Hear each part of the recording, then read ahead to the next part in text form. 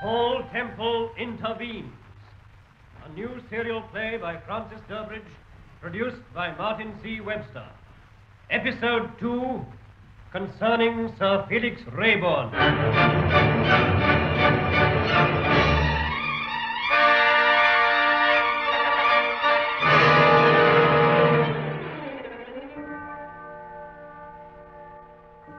Paul Temple, the celebrated novelist and private detective, is investigating a series of murders committed by a notorious criminal known as the Marquis. Temple discovers that another man by the name of Roger Story is also making inquiries concerning the Marquis. And Temple makes Roger's acquaintance after a motor car smash, in which both Temple and his wife, Steve, are involved. He's forcing you over, Paul. Get down, Steve. Get down. For Pete's sake, get down. Look out! Look out! For the love of Mike, get it over! Get down, Steve.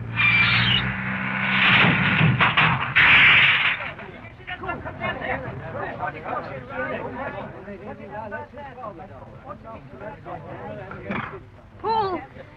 Paul, are you all right? Darling, how about you? I'm all right, darling. Where's Sammy? Oh, my God, he's under the bonnet. Here's someone coming. He'll he'll give you a hand. say, I say, I say, are you two all right? I was on the other side of the road. There's someone under the bonnet. We've got to move the car over. But, good Lord. Why, what's the matter? Well, aren't you Paul Temple? Yes. I say, well, what an extraordinary coincidence. You know, I've been trying to get in touch with you all the evening. Really? Yes. Oh, I, I beg your pardon. My name's Story. Roger Story.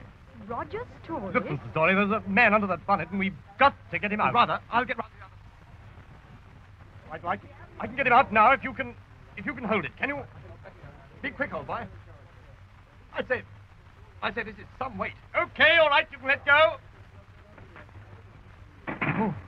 Is he badly hurt? Yes. Yes, I'm afraid so. I say, where the devil is the fellow who drove the lorry? I haven't seen him, have you? No. And I've got a hunch that we shan't. Oh, there's a constable near the lorry, darling. I, I don't think he can see us. We're over the other side, officer. Okay. My word, this is a pretty nasty smash, sir. Is anybody hurt? Yes. We had a passenger with us, Constable, but I, I'm afraid he's. Oh, Paul, he's not. Look out, she's going to faint. It's all right. I've got her. No, no. I'm all right, Paul. This blackout's such a nuisance you can't see what you're doing. Is this young lady your wife, sir? Yes, if you'll flash your torch down, I'll show you my identity card. Thank you, sir. Oh, I'm sorry, sir. I didn't recognize you. Oh, that's all right. Is there an hotel around here, somewhere near? Yes, sir. The, the Regency, about uh, 50 yards up on the right-hand side. Oh, thank you. Would you mind taking my wife to the hotel, Mr. Story? I'll join you later. Yes, rather. I shan't be long, darling. Yes, all right. We'll be in the lounge. What do you need, Mrs. Temple, is a jolly good double brandy. I get I could do with one myself. Oh, that, that's better. What's happened to the lorry driver? He seems to have completely disappeared in thin air. Uh-huh. I don't like the look of this steering, sir. Funny sort of accident, Mr. Temple, this, if you ask me. Funny sort of accident altogether.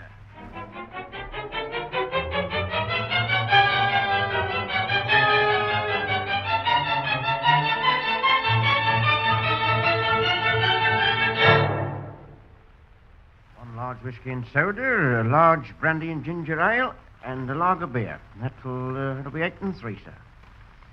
Oh, thank you, sir. Hmm. Here we are, darling. Oh, thank you. Mr. Story. Oh, and thanks. Ah. Cheers. Cheers. Hmm. Now, suppose you tell us your side. My side of the story. Well, I'm. I'm dashed if I know quite where to begin. Supposing you take your time and begin at the beginning. Mrs. Temple, did you ever meet a girl called Alice Mapleton? Alice Mapleton? Yes, I think I did. A tall, dark, rather attractive girl. Yes. We met at a party about two years ago. Lady Alice Mapleton. She was the first girl that was murdered. By the Marquis, I mean. They found her body. They found her body on the bank of a stream, about four miles from Richmond. She'd been strangled. We were engaged, you know. Oh, I'm sorry. I didn't know that. Oh, how dreadful for you. That was just over four months ago. Four months. Seems almost four years now. when I think about it. Tell me, was your fiancée worried at all, or... Yes. Yes, she was. Terribly worried. Alice was always a moody sort of person. I, I suppose you'd call her temperamental, really. The night before, before it happened, I, I had quite a row with the poor darling. She'd been so irritable and, well, well, terribly difficult to get on with. I realize now, of course, why she was like that.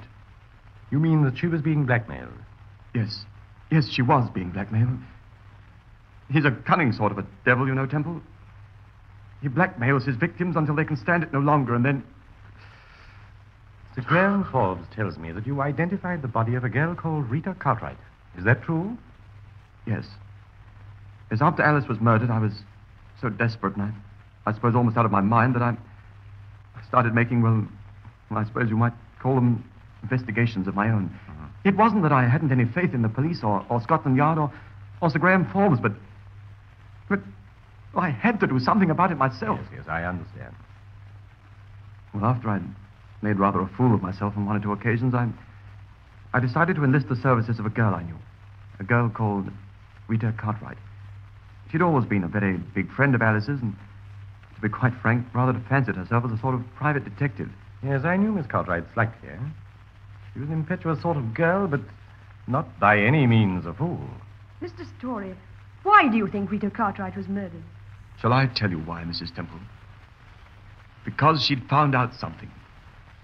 Because she'd found out something about a man called Sir Felix Reybourn. Sir Felix Reybourn? Yes, You mean Sir Felix Reybourn, the Egyptologist? yes. What did she find out about Sir Felix? Mr. Temple, before I answer your wife that question, would you. Would you mind telling me something? Well, that rather depends what it is. Tell me, do I strike you as being a rather frightened sort of person? No, no, no. I, no, oh, I don't think so. Nervous, yes, but not frightened, the story. No, not frightened. Well, I am frightened, Temple. Desperately, hellishly frightened.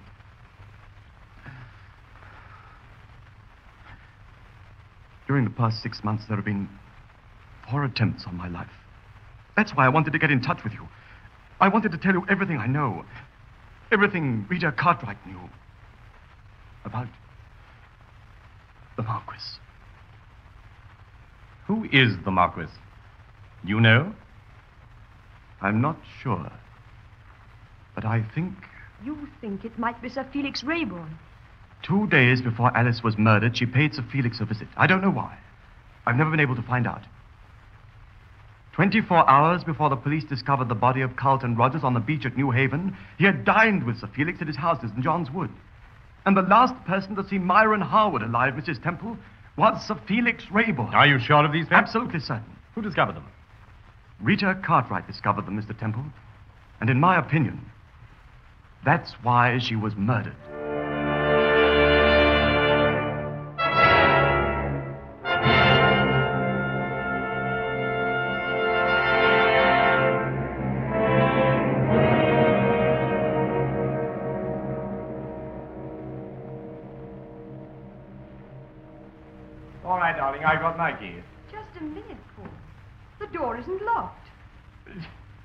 Half past eleven. Surely Price hasn't. Oh, hello, Price. Good evening, sir. Sir Graham Forbes is here, sir, and Superintendent Bradley.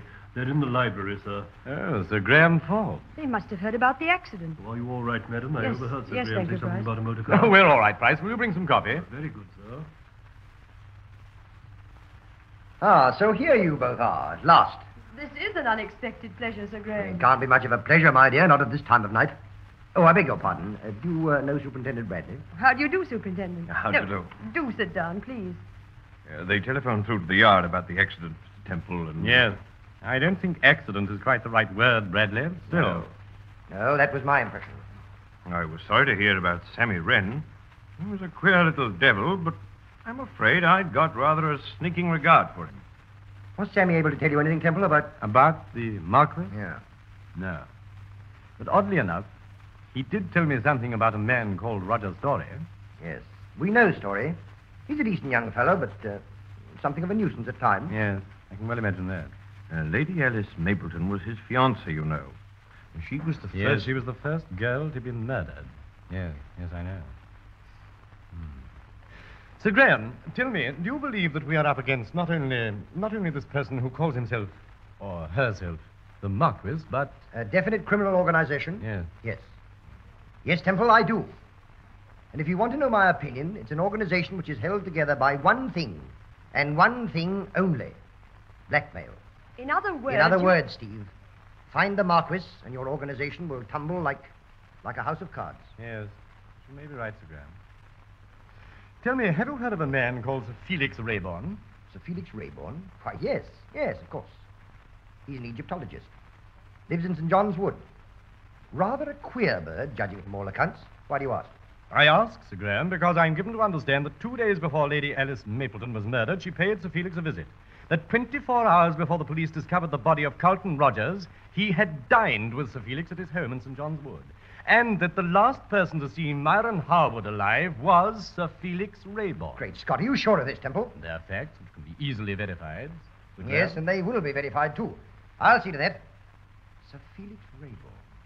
We still haven't told Mr. Temple the real reason of our visit, sir. Hmm? Oh, no, no, no, of course. When I arrived home tonight, this note was waiting for me. Why it wasn't delivered to the yard, I can't imagine. Anyway, it's from a man called Roddy Carson. Do you remember him? Roddy Carson. Yeah. Yes, I remember Roddy Carson. He's a tough, illiterate little bounder. He, he served a term in 19, uh, 1929 for Mhm. dope peddling. Yes, that's Roddy Carson. I'd better read you the note. Dear Sir Graham, I heard your broadcast the other night, and as I'm wondering if you was on the level. If you was on the level, and I can trust you, meet me at Forest Glen tonight at 12.30. I shall be waiting near the clump of trees about a mile from the road. There is something I must tell you. Roddy Carson. Have you tested this for fingerprints, Bradley? Yes, we checked it up. Roddy Carson sent the note all right. Where is Forest Glen? It's about six miles the other side of Hampstead Heath, Steve. Ross should be there by now, sir. Yes. Ross? I contacted the yard straight away. I got Inspector Ross and two of the flying squad units on the job. I thought we'd join them later, Temple. We saw Inspector Ross at the Golden Cage, didn't we, Paul? Inspector Ross? At the Golden Cage? Yes. Why, Ross lives out Wimbledon way. What the devil would he be doing near the Elephant and Castle? I told the boys to pick him up at his home. I hope to goodness they haven't missed him. Yes. Yes. I hope so, too.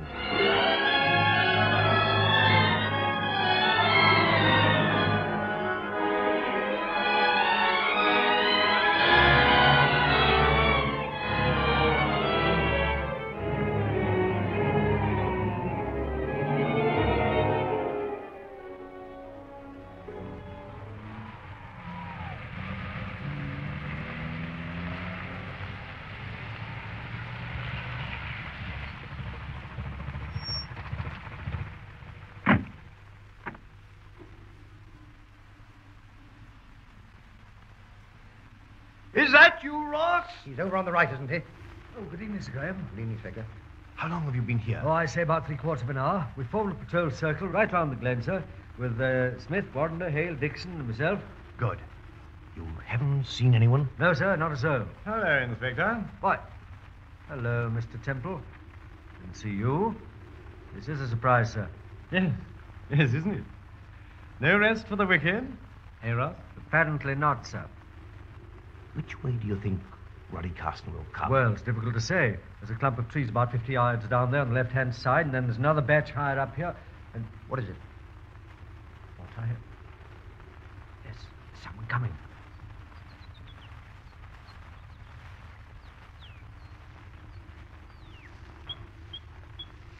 Paul? Is that you? Oh, darling, darling, darling, you are the limit. I told you to wait in the car. You'd forgotten your torch, darling. I hadn't forgotten it, Steve. I. Sorry, darling, but I, I had. Did you hear that? What?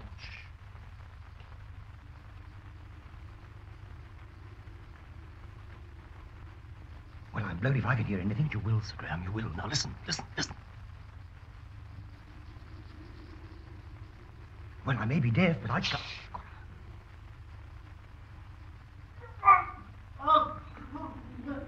I heard that all right. Quiet.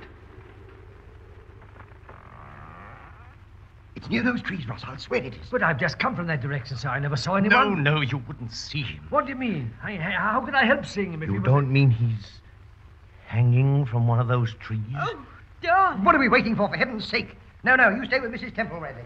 You come with me, Ross. Yes, sir.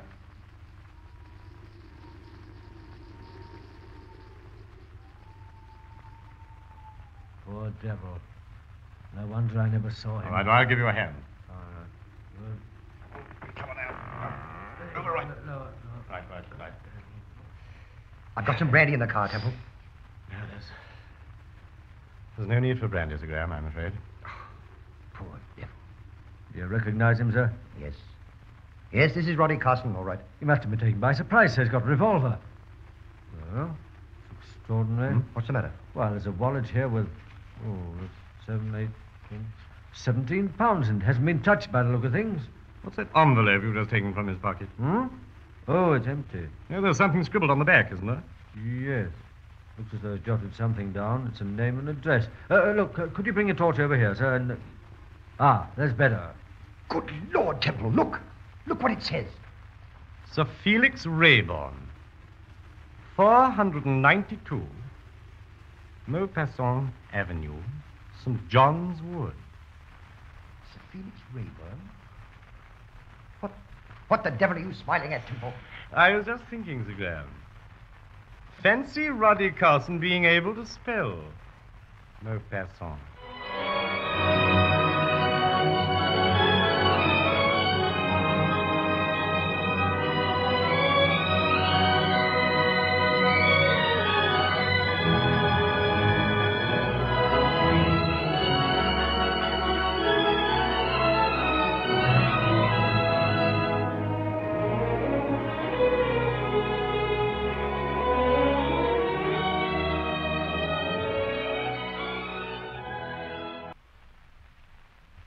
You've been listening to episode two of the new Paul Temple serial, Paul Temple Intervenes, with Carl Bernard as Paul Temple. The part of Steve was played by Bernadette Hodgson, Roger Story by Sydney Tafler, a constable by Chris Gittins, a waiter by Hal Bryant, Price by David Compton, Sir Graham Forbes by Lester Mudditt, Superintendent Bradley by Godfrey Baseley, and Inspector Ross by Edgar Norfolk. Production by Martin C. Webster.